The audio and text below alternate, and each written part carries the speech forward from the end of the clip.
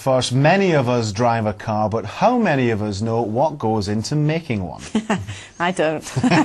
but two and a half thousand pupils may just know the answer by the end of this week as Nissan throws open the doors of its Sunderland plant for them. Yes, the 11 to 13 year olds are touring the factory's manufacturing facilities and meeting the engineers there. The event is designed to encourage pupils to choose engineering as a possible career. Olivia Richwald has more one of the biggest factories in the northeast.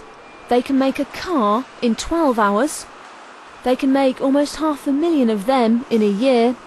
But it's going to take an entire week to show two and a half thousand pupils what's so great about engineering.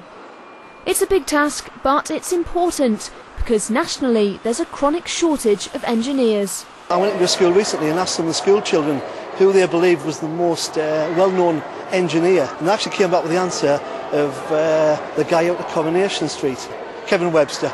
And that to me was an absolute shock. Yeah, because he's a mechanic and not an engineer. So let's see if these pupils can do any better. Do you know any famous engineers? I, I don't know any.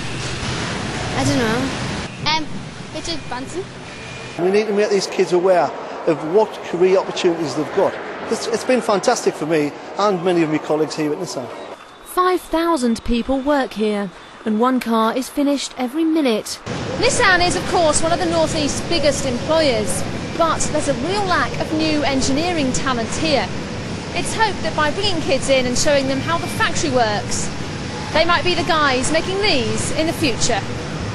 Well actually, by the time they graduate, they'll probably look a bit more like this the company's new hydrogen-powered motor.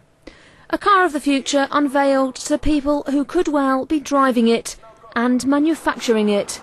Olivia Richwald, ITV Tyne Tees, Sunderland.